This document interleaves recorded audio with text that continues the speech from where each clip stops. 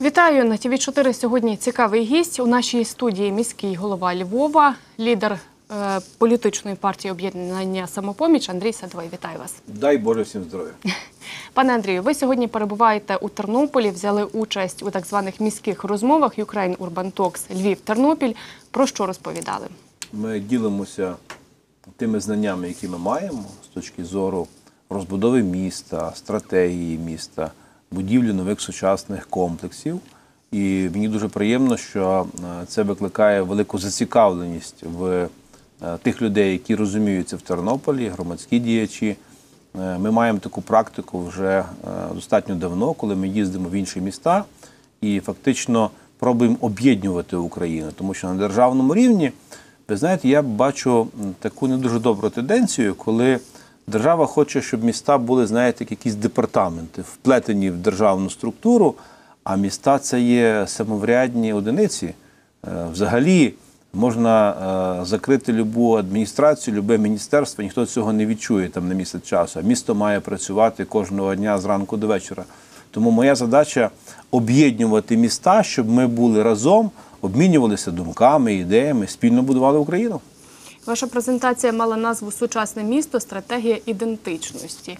Е, Я так розумію, ви розповідали про те, як Львів шукав власну самобутність, власну ідентичність, і чи, чи цей процес ще триває, чи Він буде тривати все життя. Тому що будь-яка стратегія, яку ти приймаєш, її треба постійно коригувати. Знаєте, це як людина. Не можна поставити один діагноз на все життя. Постійно треба дивитися, що міняється, які там тенденції в світі є. І ми визначили напрямки, які будуть у нас основними. Там це і туризм, це і ті, але ми активно розвиваємо машинобудування, легку промисловість, книгодрукування, харчову промисловість. І це дає нам можливість мати додатково тисячі і тисячі робочих місць. Це дуже важливо, щоб люди лишалися, лишалися в хаті, щоб вони не виїжджали, щоб була хороша заробітна платня. Тому в тій царині дуже багато треба працювати, робити міста комфортними для людей, будувати нові сучасні будівлі хорошої якості, щоб це колись були пам'ятки архітектури 21 століття. І, власне, оці всі напрацювання, які ми маємо, ми привезли в Тернопіль, щоб показати їх для тих, хто працює в міській раді, для громадських активістів, і мати такий, знаєте, зворотній зв'язок. це львівська ідентичність? У чому вона от зараз полягає? Тому що потім вона буде можливо полягати в чомусь В людях насправді. Ці люди, які сьогодні живуть, вони творять основу сучасного міста, тому що ці люди будують нові сучасні будівлі, ті люди е, доглядають за пам'ятками архітектури. Е, людина є основою основ. Тому дуже важливий є комфорт проживання людей. Дуже важливими є сьогодні інвестувати гроші не тільки в інфраструктуру, це важливо, так, дороги, хідники, але інвестувати кошти в культуру, в мистецтво, в спорт. Тому що людина вона повинна розвиватися.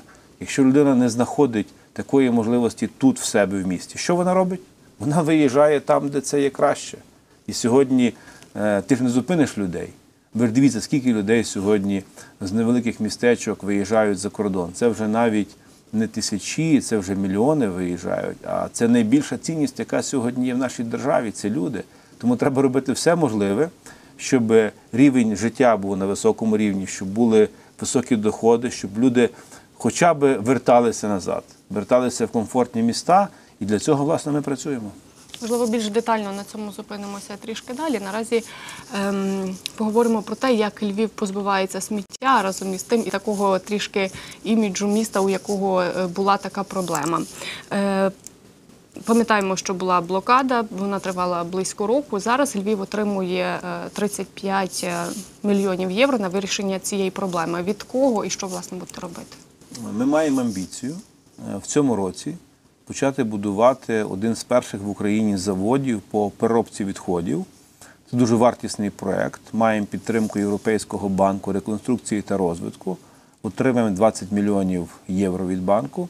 Ще 10 мільйонів євро е, дають європейські екологічні фундації, і 5 мільйонів це такий пільговий кредит. Е, Це буде один з самих сучасних заводів.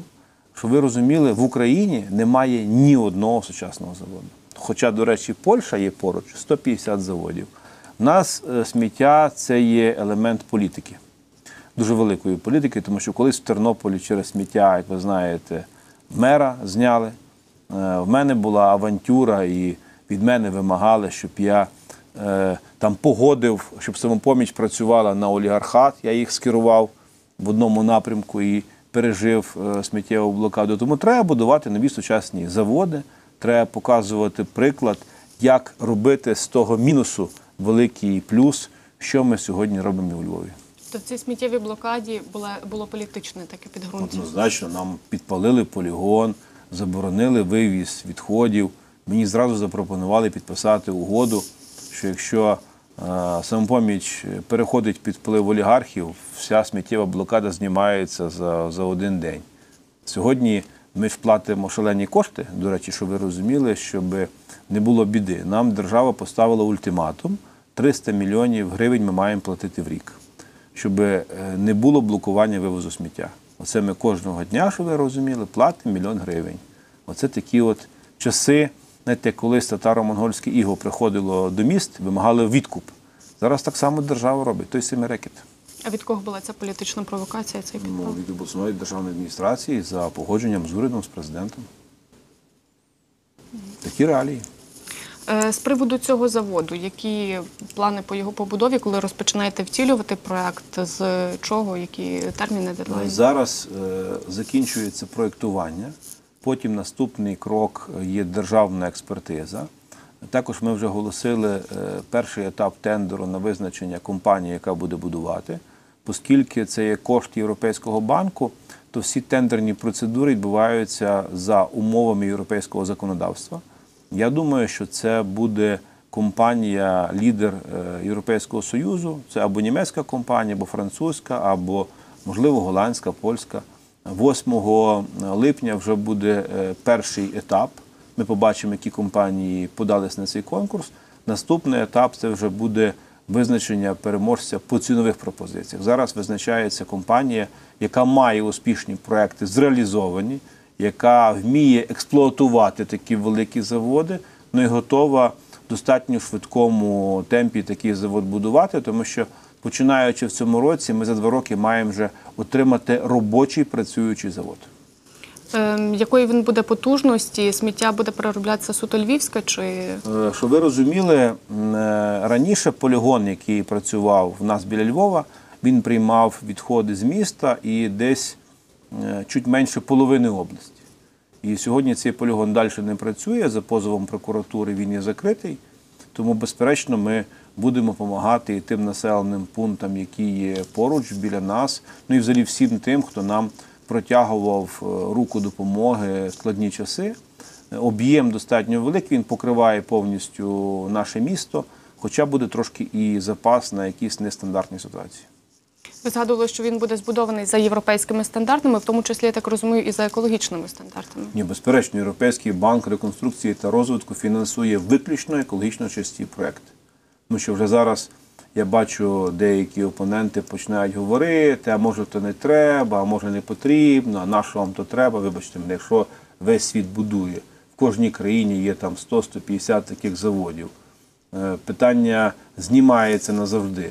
Там житлова забудова від таких заводів починається від 150 метрів. В нас, звичайно, буде віддаль набагато інша. Е, Нормальна практика світова. Тому треба це робити в Україні. А як по-іншому? Ви ж розумієте, що в нас 5% території України це різні звалища, звалища різних відходів, побутових, там, е, виробничі різні відходи. 95% всіх відходів в Україні йде на звалище. Де таке може бути? Знаєте, треба чистити це сміття в нашій країні, і на банковій треба чистити, і на Грушевського треба чистити. За вашими підрахунками, коли він запрацює, запуститься? Ну, два роки від початку будівництва. Такі терміни по угоді, е, яку пропонує Європейський банк. Що буде із Грибовицьким сміттєзвалищем? Рекультивація там буде повністю. Це теж за європейські гроші, так? Звичайно, там буде зроблена повністю рекультивація, враховуючи досвід, який ми отримали від французької компанії GIS, яка допомагала нам е, з проектною документацією. Вони, до речі, робили е, проектну частину е, полігону в Марселі. Це є один з найбільших полігонів в Європі, а наш один з найбільших в Україні. Що означають ці екологічні європейські стандарти, якщо можна трішки детальніше? Це означає, що це є безпечно е, для людей, це є безпечно для навколишнього середовища. Ну, ви ж багато, напевно, мали можливості подорожувати по різних країнах е, Європи. Ви бачите, наприклад, там в Відні стоїть завод в центрі міста. Так? Ну я чула про такі випадки, але Ні, та їх це є нормальна норма, тому що це є стандарти. У нас е, ще ДБН є дуже часто радянські, ніхто їх не переглядав. Е, Тому, в принципі, ми покажемо приклад, як європейське законодавство впроваджувати вже сьогодні. Навіть працюючи з європейськими банками, ми маємо дуже багато проєктів, щоб ви розуміли, це є десятки, десятки мільйонів євро, які ми отримуємо, і десятки мільйонів євро, які ми отримуємо в вигляді грантів. Це є велика довіра, яку ми маємо зі сторони Європейського Союзу, тому що всі процедури відбуваються з європейським законодавством, а це мінімізує рівень корупції. Тому що я взагалі подивований, багато міст не хочуть з банком працювати. Е, Тому що вони привикли, знаєте, щоб тендери вигравали там свої дружні компанії. А тут цього немає. Тут хто пропонує кращі умови, хто пропонує дешевшу ціну, той і перемагає. Які проекти, що втілені за грантові гроші, за європейські Ну, Наприклад, ми збудували у Львові 11 кілометрів окремої е, трамвайної колії. Це великий масив е, Сихівський, де мешкає 150 тисяч людей. Ми з центру міста туди збудували трамвайну колію. Тобто, щоб ви розуміли, це ця віддаль 11 кілометрів це більше, ніж в всіх містах України збудували за всі роки незалежності. Це дуже багато мереж е, ми ремонтуємо за європейські кошти, дуже багато доріг ми ремонтуємо за європейські кошти. Наступний етап зараз це є роботи по встановленню ІТП, це модернізація системи теплопостачання, це є модернізація систем водопостачання, це великі інфраструктурні проекти, які дають розвитку для міста на наступні десятиліття, я би так сказав. Питання, яке цікавить багатьох, чи будете ви балотуватися на президента? Ну, я часто чую ті запитання.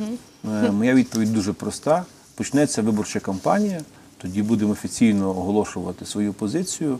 Коли у нас був останній з'їзд, самопоміч чітко сказала, що самопоміч буде брати участь в президентських виборах і в парламентських виборах.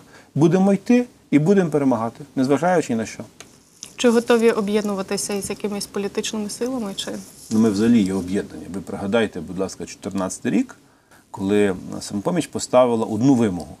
Ми не беремо до себе тих людей, які були колись там міністрами, депутатами. Чому? Тому що вони своєю діяльністю і бездіяльністю довели державу до руйнації. І е, тим скористався ворог, який захопив частину нашої території. Як тих людей можна було брати в список? Сьогодні, правда, вони вже всі, знаєте, відновилися, знову такі красиві, пухнасті, але ми свої принципи не міняємо. Ми є відкриті, ми будемо далі долучати активних людей з різних середовищ, наукових середовищ, е, е, бізнесових середовищ, журналістських середовищ. Ми завжди відкриті до об'єднання. Це наш принцип. взагалі як ви оцінюєте прийдешні вибори, якими вони будуть президентські, зокрема? Я думаю, що вони будуть е, надзвичайно непростими. По-перше, невідомо, коли вони відбудуться. Є багато дискусій на цю тему. Але ми готові, коли б вони не були. Е, По-друге, я так розумію, що буде дуже багато кандидатів, і всі будуть демократичні. Всі будуть себе називати демократичними кандидатами, тому треба просто робити е, свою роботу, йти і перемагати. Ну, з'явилося так багато цікавих облич, Іво Бобул, наприклад. Як ви вважаєте, з'являться якісь ем, кандидати ще от Ну, однозначно, це будуть цілі технології. Це будуть цілі технології, щоб людей дурити, знаєте, там, закручувати їх. Тому я вірю, знаєте, що все-таки люди будуть мати здоровий глузд і будуть оцінювати е, людей по їхніх ділах, а не по тому, що вони будуть обіцяти. Тому що нас всі на виборах обіцяють молочні ріки, кисельні Ну, зараз береги. така тенденція взагалі в світі до популізму. Ну, пішла. бачите, е, я є практик. Я працюю е, мером міста 12 років. І мою роботу можна приїхати, пощупати, подивитися. Я є лідер політичної сили, яка почала свою активну діяльність у 2014 році. Ну, от подивіться, фракція самопомочі в Верховній Раді. Так? Можна мати дуже багато претензій, але не продалися. Займають тверду проукраїнську позицію і борються максимально з корупцією. Хто не голосував за Луценка? Єдина самопоміч не голосувала. Хто підтримує беззастережно всі антикорупційні закони? Самопоміч підтримує. Хто, до речі, підтримує реформаторські закони в парламенті? Дуже часто коаліція не підтримує, а самопоміч підтримує. Хоча ми в опозиції. Тобто все, що корисно для держави, ми підтримуємо двома руками, незважаючи, що ми в опозиції. Тому що це для держави. Тому що коли ворог на нашій території, всі мають бути разом. І ми цю єдність демонструємо нашим голосуванням в парламенті. І ще одне питання щодо виборів. Як ви сподіваєтеся, чи будуть вони чесними, чи як завжди? Це від нас з вами залежить. Якщо будуть людям пропонувати гроші. Знаєте, мене один знайомий недавно порахував, якщо тих там е, 200-300 гривень, е, які людям пропонують за продаж свого голосу, е, поділити там на 5 років, поки є каденція, на кількість місяців і днів, то теж виходить 15 копійок в день. Ну, якщо люди готові продавати себе за 15 копійок в день, то вибачте мене, ну ми ж майбутнє продаємо. Тому я пропоную людям бути мудрими, просто більше дізнаватися про тих людей, хто що робив, і свідомо приймати рішення, тому що ми громадяни, хто цю державу буде будувати, якщо ми з вами цього не будемо робити. А вибори це є можливість приходити і свідомо приймати рішення. Нещодавно ви побували в Сполучених Штатах Америки, відносно нещодавно. Яка мета візиту і якою бачать Україну американці? Можливо, прості люди і е, знаєте, вони достатньо проінформовані е, про все те, що робиться в Україні. Ніхто не скриває інформацію про нашу корупцію. Вони її цю інформацію прекрасно знають. І американці працюють з тими, хто є при владі завжди. Але вони би дуже хотіли мати партнерів, які вміють тримати слово. І мені приємно, що сьогодні американці визнають, що те, що самопоміч говорила два роки назад, і вони були скептичні, сьогодні все справдилося один до одного. Також в мене була цікава розмова з мером Нью-Йорку е, Білом де Блазіо. Він, до речі, мене питав про сміттєву блокаду, тому що я думаю, що скоро на е, багатьох факультетах політології в світі будуть власне цей кейс показувати, як влада блокує місто через сміттєву блокаду, щоб чинити тиск на городян, на місто, щоб люди міняли свою позицію. Це вже такий ну, класичний варіант. Також мали зустрічі в державному департаменті, говорили з Мітчелом, який відповідає за фактично Україну, за Європу. Говорили з Куртом Вокером, який відповідає за питання україно-російські, в тому числі хоче врегулювати е, питання, які в нас є сьогодні, ну фактично війна. Але він також прекрасно розуміє, що якщо не навести порядок в Україні, якщо не мінімізувати рівень цієї корупції, то у війні дуже важко перемагати. Тому От що я, якраз хотіла запитати, чи говорили про корупцію, бо про неї говорять всі наші. та ви думаєте, що вони не знають е, рахунки, куди наші чиновники гроші перераховують, скільки хто бере. Ця інформація відкрита і публічна, тому що американці контролюють всі долари, які є в світі. Тому що всі долари проходять через їхні банки. Плюс технології, які сьогодні є, вони е, унікальні насправді. Тому про кожного є достатньо багато інформації, і обдурити їх, е, чесно кажучи, не так, е, ну, як хтось собі думає, так, що ми, ми їх там обдуримо. Просто насправді ми дуже часто е, себе дуримо. Тому що Україна відірвана від серйозних фінансових потоків, які є в світі. Ми є аутсайдерами на цього ринку. А нам треба знаєте, вернутися назад в світове співтовариство, щоб нас приймали по-дорослому, щоб ми були країною, яка буде надійним партнером. І на це сьогодні треба скеровувати максимальний час, сили, зусилля. То, що ми робимо, ми вибудовуємо політичну партію самопоміч. Тому що якщо ти хочеш збудувати успішну країну, треба збудувати успішну партію. Ми шукаємо постійно нових людей. Я їжджу там, де я можу допомогти, допомагаю, консультую. От я на Тернопільщині мав дуже, до речі, цікаві розмови і з мером Чорткова, достатньо грамотний чоловік. Говорили з мером Заліщик. Ми домовилися, що я до неї скерую і свого заступника з розвитку, і директора інституту міста, щоб допомогти з точки зору стратегії. Тому що мало хто знає, що в Заліщики, до речі, 100 років назад люди з Європи їздили на пляж купатися загарят. А чому цього не можна відновлювати? А питання каналізування, очисних споруд. А ви знаєте, куди сьогодні стоки діваються з маленьких містечок? Вони дуже часто в річку впадають, неочищеними. Ми самі себе труємо. А для чого? Це ж наша країна. Розумієте, ми чекаємо на якесь чудо, ми повинні самі наводити порядок. Тому там, де я можу, я стараюся бути корисним, допомагати своїм досвідом. Раз ми вже завели мову про туризм. ем, Львів вважається однією з туристичних столиць е, України, можливо, такою найбільшою туристичною столицею, але напевно, що він був не завжди такий. Він шукав свій е, шлях у цьому напрямку. Розкажіть, як шукали е, ідентичність львівського Власне, це почалося з нашої стратегії. Ми просто подивилися, а де ми можемо бути кращі. В машинобудуванні ну складно, там в хімічній промисловості. Ну, в нас нема хімічної промисловості потужної. Тому ми зробили ставку на новітні технології, на туризм. От якщо брати туризм, то в минулому році ми мали там вже більше ніж 2,5 мільйони туристів, а це є тисячі і тисячі нових робочих місць. Це є десятки нових рейсів, які пролітають в литовище. Це можливість людям себе комфортно почувати, тому що ми маємо гроші вкладати в інфраструктуру, дороги, хідники, громадські простори. Е, Той ж самий кластер IT. Ну, у нас сьогодні в ІТ працює до 30 тисяч людей. Щоб ви розуміли, це люди, які мають зарплату в середньому десь 2 тисячі доларів. Ну, це дуже великі гроші. І ті гроші лишаються в місті. Ми в цьому році починаємо будувати великий сучасний it парк Це плюс 15 тисяч нових робочих місць. Зауважте. Ну, це є, вибачте мене, це надзвичайно великі потужні результати. Це, до речі, буде одна з найбільших інвестицій в Україні. Тобто ми вкладаємо в інтелект, ми вкладаємо в створення продукту. Не в виробництво, яке там гайки крутити, та гайки крутити може кожен, а в думальні процеси. Може, тут лишаються найбільші кошти, а це вигідно для держави. Так, так званий креативний клас, так? Так, так, тому що для, для мене сьогодні важливо є креативна економіка. Хоча поза тим ми активно розвиваємо машинобудування. От у нас е, був колись славний завод ЛАС, якщо пам'ятаєте, автобусний завод, його держава продала росіянам. Ці розграбили, е, все розікрали. До речі, нікого держава не покарала, хоча відомі всі фігуранти цього процесу. Що зробив садовий? Ми запропонували новому нашому підприємству електрон випускати трамваї, тролейбуси, електробуси.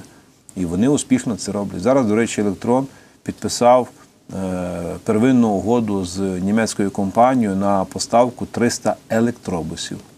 Ми, наприклад, купляємо в них 50 автобусів. От вони в цьому році можуть зробити до кінця року 50, ми в них купляємо. Хоча мені треба 150, там ще 100 буду купляти на стороні. Будемо в цьому році проводити тендер ще на купівлю 50 тролейбусів. Думаю, що електрон мав би виграти в цьому тендері. Тобто я максимально інвестую зусилля і кошти в виробництво. В хаті ми маємо виробляти все, що нам потрібно. Гроші мають бути тут. Як Україна збудується? Потрібні робочі місця, щоб люди тут мали достойну зарплату, а не виїжджали за кордони. Я от я керую у Львові, так я маю можливість впливати, я впливаю, я створюю ті робочі місця. Буде можливість працювати на більшому об'ємі, більше буду робити.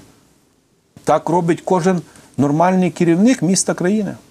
Але ці робочі місця мають бути також згідною зарплатнею. Звичайно, А для звичайно. цього потрібно, напевно, щоб була конкуренція між Для цього треба, щоб е, в державі були залатані дири. От ми маємо, наприклад, в державі митницю. Якщо б митниця якісно працювала, я думаю, що ми мали б ще один державний бюджет. Друге питання: в нас половина економіки нашої держави знаходиться в тіні. Люди не платять податки. А як їх заставити платити податки, якщо перші керівники держави цього не роблять? Покажіть приклад, шановні. Хтось обіцяв продати Рошен після перед виборами, так? Обіцяв, продав, не продав. Чому? Треба питати. Тобто особистий приклад має дуже велике значення. Тому я переконаний, що і кількість робочих місць можна збільшувати, і створювати гідні умови, щоб люди верталися сюди вже з досвідом, зі знаннями, з якимись капіталами, і тут вкладали кошти. Для цього мають бути нормальні правила гри, має бути верховенство права. А що в нас сьогодні є? От я сьогодні мав зустріч з тернополянами, і вони жалілися мені на забудову в місті. А що, прокуратура ходить, перевіряє незаконні забудови? А що міліція ходить, перевіряє? Ні. Чому? А вони говорять, нема повноважень там, не можемо розібратися. А що ми маємо сьогодні суди, які 100% гарантовано будуть відстоювати наші інтереси? Розумієте? А це є ті речі, заради яких люди виходили на революцію гідності, заради яких люди вмирали, щоб були просто нормальні правила, щоб були нормальні умови життя, щоб була справедливість. Розумієте? Люди просто хочуть, щоб, знаєте, щоб була гідність, щоб в очі дивилися і не дурили. А цього сьогодні немає. І знаєте, дуже часто, от якщо з Києва йде фальшивий сигнал, то він на місцях знаєте, ще какофонічно ще стає більш фальшивим. Тому цей сигнал зверху має бути чистий, правдивий. Тобто керівник держави це має бути моральний лідер, це має бути людина авторитетна. А повноваження по виконавчій владі треба максимально передавати на уряд. От наступні будуть вибори в парламент. Я вважаю, що треба негайно припиняти оцю практику округів, дірібану, скупівлі голосів. Тобто треба прийняти новий закон. До речі, всі депутати, Порошенко в тому числі обіцяли, що цей закон буде прийнятий. Новий закон про вибори, відкриті списки, пропорційна система. Тоді обираються більш-менш адекватні депутати. Вони е, формують новий уряд, і уряд має мати повноту виконавчої влади. А то що сьогодні? Я от не розумію. Є маленькі містечка, так? там є міська влада, паралельно є районна е, адміністрація. Що вона робить, ця районна адміністрація? Вона що, допомагає місту працювати? Ні. Я би категорично зменшив кількість депутатів. От ми говорили, мер Заліщик, в них щось там 26 депутатів. Куди? Для чого? 10 депутатів достатньо. Чортків 10 депутатів достатньо. В Тернополі там 15-20. Тобто зменшується навантаження. Максимально ці всі обласні державні адміністрації. Яка з них користь? Що вони роблять? Та ви їх закрите, люди навіть цього не відчують. Розумієте, ми зменшуємо цей весь державницький апарат, даємо більше повноважень містам і вибудовуємо якісну систему, щоб прокуратура виконувала свою функцію, так? щоб вона була дійсно тим елементом, який стоїть на захист простої людини. Ну, сьогодні вже там почався процес з тим антикорупційним судом. Тільки ніхто не може зрозуміти, там якась правка влізла, да? така ліва, ліва, ліва. І, крім- крім правки, ще треба проголосувати за його створення. Ну, е, це ще буде непростий процес. Будуть ще баламутити, крутити, але тут, бачите, і Міжнародний валютний фонд, американці ну, поставили умову. Буде суд, будуть кошти Міжнародного валютного фонду. Мова йде про мільярди доларів, щоб ви розуміли. Тому що ситуація з бюджетом дуже складна. Сьогодні є сформований бюджет, але його виконання в повному об'ємі сьогодні не гарантується. Тому без співпраці з міжнародними організаціями буде важко. Вони прекрасно розуміють, що в Україні проблема номер один це є корупція. Щоб її мінімізувати, треба хоча б когось судити. Ну, вибачте мене, скільки ми чули про режим Януковича, так? А хто хтось поса, хтось сидить в тюрмі, хтось покараний. Ніхто не покараний. А кого в нас взагалі карають? Нас, людей, які в опозиції, от я дивлюся самопоміч, так? Е, затримали нашого керівника Запорізької самопомочі, тримали його під вартою, відпустили, ніхто навіть не вибачився. Розумієте? Мера Миколаєва, прекрасний, молодий, патріотичний українець, це ж оплот був партії регіонів, Миколаїв обласний, так? Його відсторонили. Через суд ми його повернули. Хтось вибачився? Ні.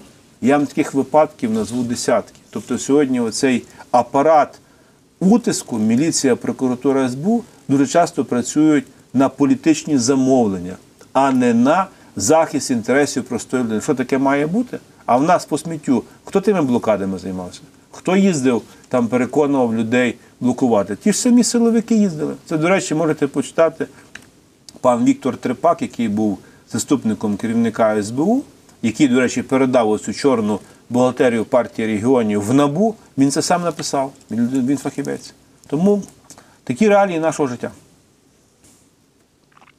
З приводу ви згадували про те, що потрібно прийняти нове виборче законодавство. Виборчий кодекс, е, наскільки я розумію, мають прийняти депутати до липня. Якими є шанси того, що воно все ж таки буде е, ухвалене, і що буде, якщо його все ж таки не приймуть? Ну, в першому читанні законопроект є прийнятий. І то він прийнятий не через те, що хотіли його прийняти, то що відбувся певний збій в системі. Тому якщо підтиснути, то я думаю, його можна прийняти. А якщо він не буде прийнятий, то надії на наступні парламентські вибори, що вона щось поміняє, і немає. Тому що якщо будуть роздавати е, округи місцевим феодалам, що вони ходили, скупляли людей, а потім в парламенті всі грали в одну дудку, нічого з того не буде доброго. Тому ми з вами повинні просто займати більш активну позицію. Я буду займати активну позицію, мої колеги по самопомочі. Має бути новий виборчий закон. Це те саме, що антикорупційний суд.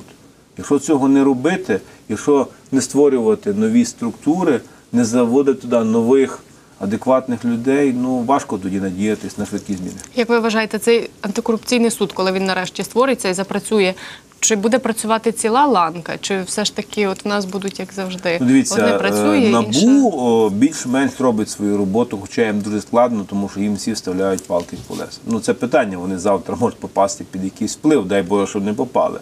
Якщо брати антикорупційну прокуратуру, ну багато було звинувачень, і ви ж бачите, навіть американську візу е, голови антикорупційної прокуратури забрали. Питання суду. Ну, я оптиміст. Я вірю, що він має запрацювати, але результати реальні, я думаю, менше ніж через рік ми не побачимо.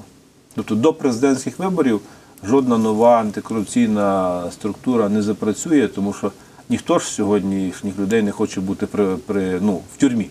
Вони всі хочуть далі царювати, тому вони будуть робити все можливе, щоб це блокувати. Питання транспорту болюче для всієї України. Як е, із розвитком транспортної інфраструктури у вас е, у Львові? Чи маєте якісь позитивні приклади, якими поділитися? Ну насправді оцей час, коли е, були маршрутки, він вже відходить в минуле. На сьогоднішній день ми поставили ставку на купівлю великих автобусів, трамваїв, тролейбусів. Я вже вам казав, що в цьому році ми купляємо для міста 150 великих сучасних автобусів, купляємо 50 тролейбусів і ще 30 трамваїв хочу з Німеччини привезти. Тобто в цілому ми отримуємо 230 одиниць великої техніки. Так? В наступному році десь будемо виходити на подібні орієнтири, можливо, трошки менше, щоб місто повністю вернуло вплив за на транспортні перевезення, тому що приватник вже сьогодні не має цього прибутку великого, який він мав колись, і немає гарантованих е, 100% перевезень. Тому в тій частині треба працювати. Це не тільки, до речі, питання Львова, це питання дуже багатьох міст нашої держави. Ну і треба оновлювати е, автобуси, тролейбуси, трамваї, тому що вони зношуються. Щодо питання пільговиків. Ну, ми, наприклад, возимо в наших комунальних автобусах, трамваях, тролейбусах е, всіх пільговиків безплатно, пенсіонерів в тому числі. Тобто у Львові пенсіонери в комунальному транспорті їздять безкоштовно. Це є дуже велике навантаження, ну але люди бідні, а чим їм допомогти? Ви ж подивіться, що та сьогодні пенсія на це копійки. До речі, також по пенсії почали ми більше вникати. Я дивлюся, що дуже часто при нарахуванні пенсії е, брали не максимальну можливість пенсії, яку людям можна дати, а брали такий, знаєте, середньостатистичний рівень. Якщо добре порахувати, то можна на 200, 300, 400 гривень людям більше нараховувати. Я думаю, такі консультації ми вже думаю, десь з серпня будемо надавати тут в Тернополі через наш офіс е, самопомочі для людей. Е, у нас, наприклад, пільговики в Тернополі можуть їхати, користуючись карткою тернополянина. У вас теж є ка- картка У нас просто безкоштовно їдуть і все. Я вважаю, що картки це є добре, тільки мала би бути знайдена картка українця, тому що ті знаєте, є картки поляки. Ну, я дуже обережний. Тобто ми з наступного року будемо впроваджувати електронний квиток в місті, але це трошки інше, ніж те, що є в сьогоднішніх містах. Е, Там буде більше сервісу і зовсім інша система комунікації буде задіяна. Якою вона буде? Ви опираєтесь на якийсь на досвід якогось міста європейського чи Е, Звичайно, ми маємо реалізацію цього проекту спільно з Європейським банком реконструкції і розвитку, і це найуспішні практики сьогодні в європейських столицях, той ж самий Лондон, де ви можете цією карточкою користуватися у всіх видах громадського транспорту, які є в місті. Навіть кредитною карточкою можете розраховуватися без проблем. і без кондукторів? Взагалі. Ем, Як у Львові вирішують питання соціального забезпечення бійців, які брали участь у бойових діях на українському сході? Е, Коли почалася війна і почали вертатися перші наші хлопці з війни, ми зрозуміли, що цей процес надовго. І ми створили центр надання допомоги учасникам бойових дій. Е, Кожен, хто вертається з війни, отримує е, одноразову допомогу, можливість такої допомоги 100 тисяч гривень. Це дуже великі гроші. Е, В кожному році ми передбачаємо 100 мільйонів бюджетів на такі допомоги, плюс різні пільги. Ну і хлопці, які отримали важкі поранення, чи хлопці, які не мають ні тата, ні мами, сироти, або родини, які втратили своїх годувальників на війні, ми їм даємо безплатно квартири. Збудували окремий будинок, що, до речі, має в цьому будинку десь 10 вільних квартир, слава Богу. Знаєте, слава Богу, що є цей резерв, е, але в разі потреби можемо і е, збільшити е, ці можливості, тому що в часи війни хлопці повинні відчувати, що вони будуть захищені. І тими хлопцями треба опікуватися, доки вони є живі. Е, Ви ж розумієте, люди дуже чутливі до таких нюансів. Я дивлюся, як, наприклад, в Америці. В них є ціле міністерство, яке опікується ветеранами. І е, це дуже важливо, тому що от держава пробує це все перекинути на міста. Ну, але вибачте, на війну відправляє держава від свого імені. І я думав, що цю практику, яку ми запровадимо в себе, е, її переймуть державні міністерства, і ті кошти держава буде виплачувати, щоб в кожному місті була така сама ситуація. Вибачте мене, а чим відрізняється українець, який пішов на війну зі Львова чи з Тернополя? От ми виплачуємо 100 тисяч гривень. Скільки в Тернополі виплачують? Я думаю, що напевно інші цифри, правильно? А хіба це справедливо? А має бути одна ціна по Україні. Правильно чи ні? Ну, на що ми будемо ділити? Тобто ми, ми показали, як потрібно. Будь ласка, нехай держава робить все краще. Знаю, що е, фракція е, верніше об'єднання самопоміч е, допомагає бійцям АТО по цілій країні. Зокрема, в Тернополі організовують такі гаражні розпродажі, де збирають кошти, за них закуповуються автомобілі і передають у зону АТО. Це така загальноукраїнська практика. Однозначно, однозначно, тому що ну, взагалі ви ж пригадуєте, коли почалася війна, якщо б не волонтери, то армія була б не забезпечена нічим. Тому ми почали е, цю роботу, співпрацюємо з різними громадськими організаціями, і це буде тривати ще дуже дуже довго, тому що знаєте, надії, що там війна закінчиться завтра, ну немає, тому що поза тим, дай Бог, що армія стає сильнішою, дуже важливими є ще економічні чинники. Я часто цей приклад навожу. Якщо рівень пенсій і рівень життя в Україні, рівень доходу буде більший в два рази, чим є в Росії, ми дуже швидко повернемо Луганську Донецьку область. Якщо рівень пенсій в Україні, рівень доходу людей буде в чотири рази більший, ми дуже легко повернемо Крим. Він сам вернеться. Тому що економіка А є. шляхом? А економіка є дуже важливим чинником. Чому сьогодні люди, наприклад, їдуть на заробітки в Польщу? Два мільйони українців поїхали на Польщу. Тому що там вища зарплата, тому що там вищі стандарти життя. А якщо рівень життя і рівень пенсій в Україні буде вищий, ніж в Польщі, куди будуть їхати? Ну, то сюди поїдуть, правда? Знаєте, воно як з'єднані сосуди. Де є краще, туди воно і перетикає. Тобто, е, ви хочете сказати, що коли в нас рівень в Україні життя буде хорошим, то от вони скажуть, ми хочемо назад. І... 100%. А, а, а яким це скільки часу це потрібно? Яким шляхом це може відбутися? Так само військовим чи який ваш Ну, погляд? Сильна армія це є запорука безпеки нашої держави. Ми ж не інвестували кошти колись в армію. Ми ж думали, що наша незалежність це вже на все життя нічого не треба робити. У нас немає енергетичної незалежності. Ви ж розумієте, що маючи в Україні свої поклади газу і нафти, ми повинні газ купляти за кордоном. Ми не можемо себе забезпечувати, тому що а енергоефективність дуже низька. Плюс е, не було це державною політикою, тому що російським лобістам і російській агентурі було вигідно, щоб ми сиділи на російській голці. Сьогодні люди вже це зрозуміли, але я, чесно кажучи, не побачив збільшення видобутку газу в державі за останні 4 роки. А це основа основи. Енергетична незалежність є основою знаєте, взагалі незалежності нашої країни. І такі речі я можу вам озвучувати по кожному напрямку життя нашої країни. Тобто самопоміч сьогодні має прекрасних депутатів Верховній Раді, і це є наступні міністри. І кожен з них чітко працює по своєму напрямку.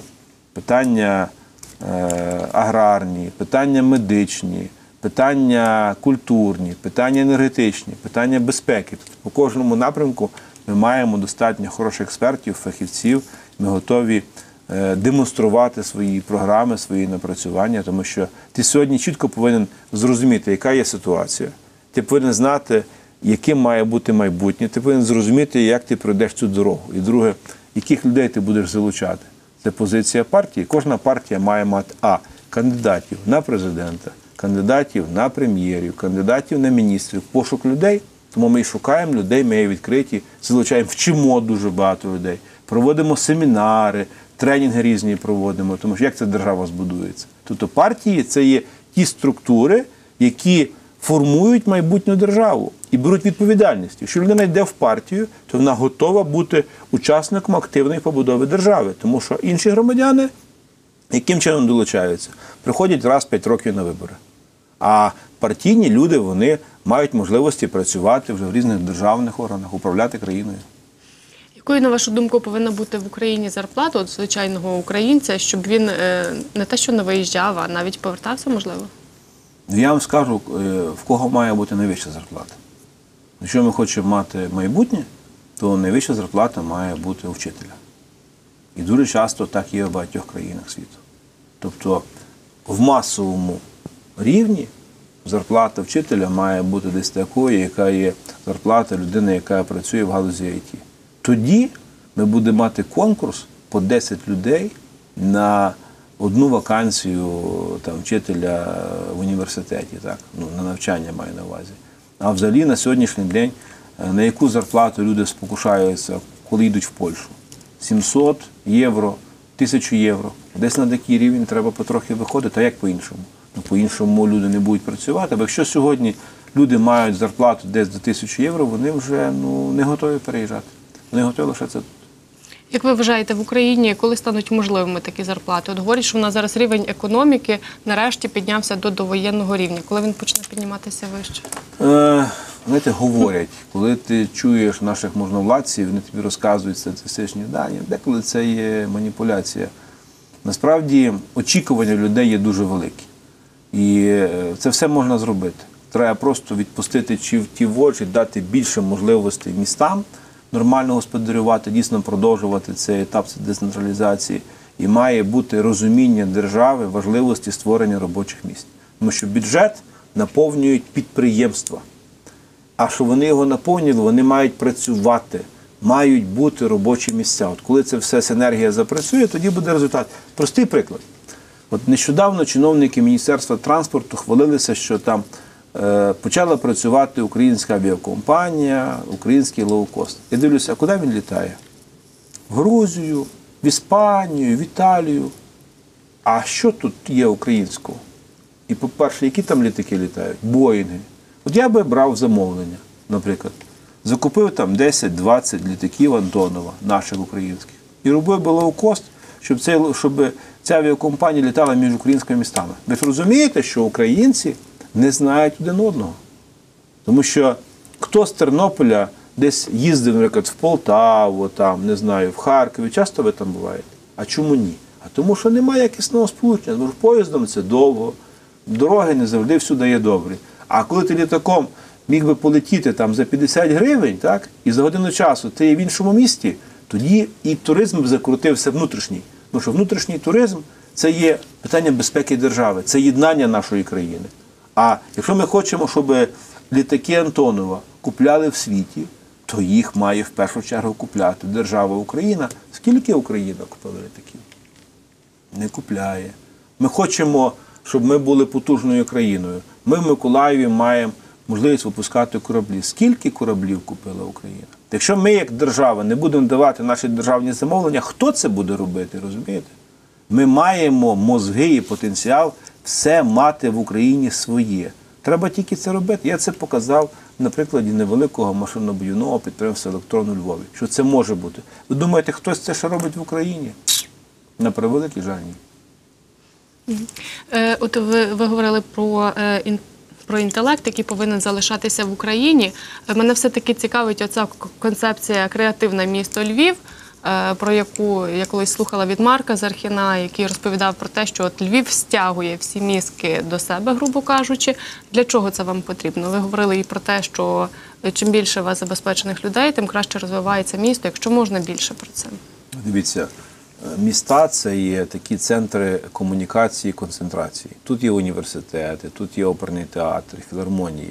І чим більше мудрих людей живе в одному місті, тим більше з'являється чогось нового, сучасного, є створення нового сучасного продукту. Тому мені важливо, щоб з інших міст України люди переселялися до Львова, жили. Але я хочу, щоб такий самий успіх був в Тернополі, не знаю, в Полтаві, е, в Чернівцях, де є дуже багато різних проблем.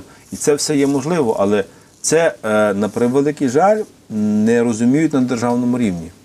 От сьогодні я бачу, що кожне місто має якісь свої внутрішні проблеми, і з державного рівня немає бажання це вирішити, допомогти. Тобто креативна економіка це можливість людям себе розвивати, себе почувати гідно, комфортно, творити. Ви ж подивіться на малих дітей. Вони сьогодні беруть там айфони, айпеди, і вони користуються ними, слухайте, як, ну, як, як, як піаніст сучасний, розумієте? Тобто, і треба їм давати можливості творити. От мерка, навіть освіта. Так? От ми, наприклад, закупили в кожну школу міста сучасні мультиборди. Там 150 тисяч, здається, коштує один. Тобто, це є можливість зовсім по-іншому новими сучасними методами навчати дітей фізики, хімії, математики. Зараз ще будемо закупляти, так? щоб ми мали все саме сучасне, що є в світі. Щоб діти отримали хороші знання, тому що освіта і наука це є номер один.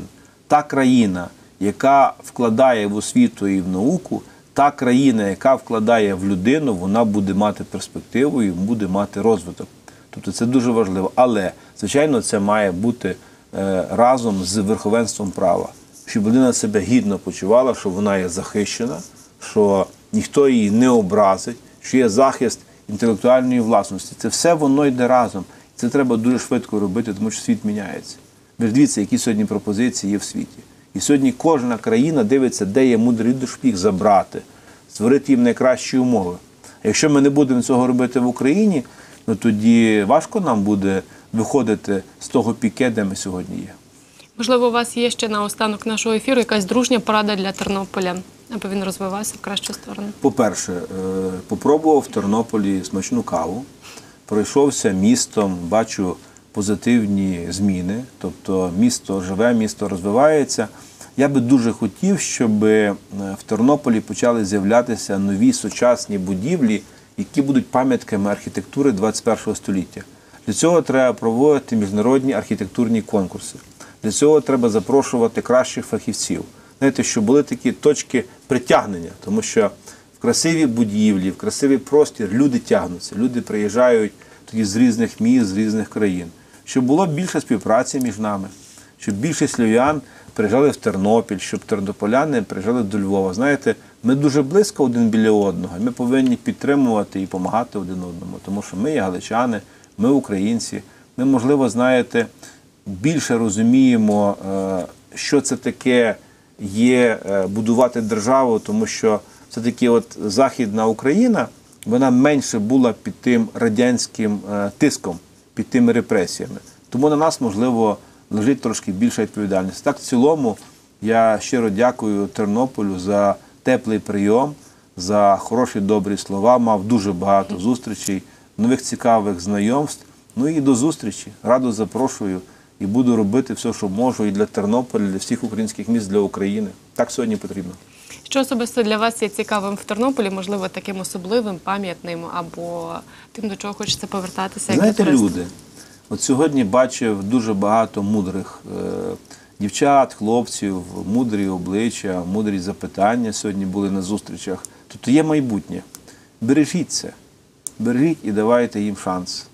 Тобто просто будьте людьми, поважайте один одного, інвестуйте в людину, знаєте, щоб батьки розуміли, що ніхто не виховує їхніх дітей, якщо вони самі цього не виховують. Щоб ми йшли на зустріч один одному, щоб в нас всюди були круглі столи. Не те, щоб українці не билися, бо от ми ж мали фактично річницю е- Чортківської офензиви, так? І згадайте ті часи, що було 100 років назад. От е, подивіться це з точки зору сьогоднішнього дня. Так? Була спроба збудувати українську державу. Тоді мав одну позицію Скоропадський, іншу мав Петлюра, десь там Грушевський, Винничук. І чим то все закінчилось? Україна не відбулася. Що після цього? Концтабори, голодомор, жертви, репресії, насильницькою смертю загинув кожен другий чоловік, українець, і кожна четверта жінка. Не можна цього допускати сьогодні. Сьогодні треба робити все можливе, щоб було об'єднання всіх, щоб всі працювали разом, щоб українці не билися один з одним, щоб всі були за одне. І щоб була оця офензива, щоб був оцей, знаєте, український крок, український поступ вперед. Оце дуже важливо для нас. Дуже дякую вам за хорошу розмову. Дякую вам. Нагадаю нашим глядачам, що у нашій студії сьогодні був міський голова Львова, лідер партії об'єднання самопоміч Андрій Садовий. До зустрічі.